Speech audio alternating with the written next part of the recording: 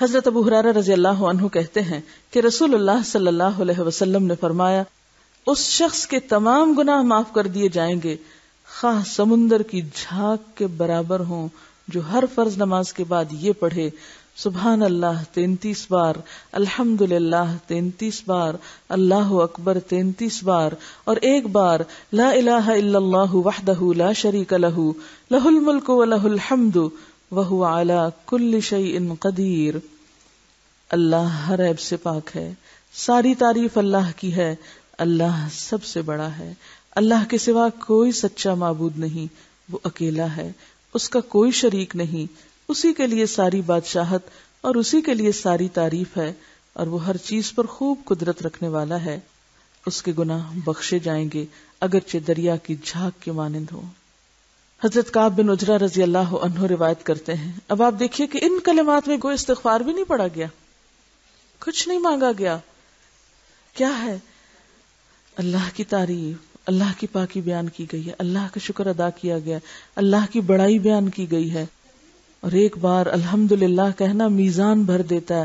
ایک بار اللہ اکبر کہنا زمین و آسمان کو نور سے بھر دیتا ہے۔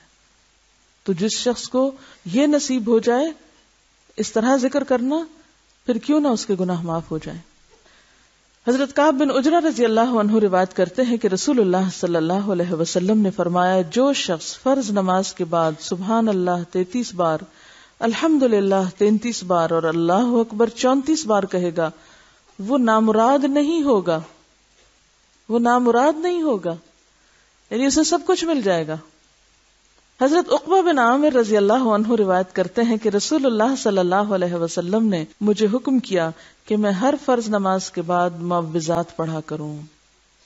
معوضات اللہ کی پناہ میں دینے والی صورتیں۔ یہ ان صورتوں کو کہتے ہیں جن کے شروع میں قل اعوذ کا لفظ آتا ہے۔ انہیں معوضتین بھی کہا جاتا ہے۔ یعنی قرآن پاک کی آخری دو صورتیں جو حسب ذیل ہیں۔ بسم اللہ الرحمن الرحیم۔ قل اعوذ برب الفلق۔ من شر ما خلق ومن شر غاسق اذا وقب ومن شر النفاثات في العقد ومن شر حاسد اذا حسد۔ اللہ کے نام سے شروع کرتا ہوں جو بہت رحم کرنے والا، نہایت مہربان ہے۔ کہو میں پناہ مانگتا ہوں صبح کے رب کی۔ ہر اس چیز کے شر سے جو اس نے پیدا کی ہے، اور اندھیری رات کے شر سے جبکہ وہ چھا جائے، اور گرہوں میں پھونکنے والیوں کے شر سے یعنی جادو ٹونا کرنے والوں کے شر سے اور حاسد کے شر سے جبکہ وہ حسد کرے۔ بسم اللہ الرحمن الرحیم۔ قل اعوذ برب الناس، ملک الناس، الہ الناس، من شر الوسواس الخناس الذي يوسوس في صدور الناس من الجنة والناس۔ اللہ کے نام سے شروع کرتا ہوں، جو بہت رحم کرنے والا، نہایت مہربان ہے۔ کہو میں پناہ مانگتا ہوں لوگوں کے رب کی، لوگوں کے مالک کی، لوگوں کے معبود کی، اس وسوسہ ڈالنے والے کے شر سے جو بار بار پلٹ کر آتا ہے، جو لوگوں کے دلوں میں وسوسے اور برے خیالات ڈالتا ہے۔ خواہ وہ جنوں میں سے ہو یا انسانوں میں سے۔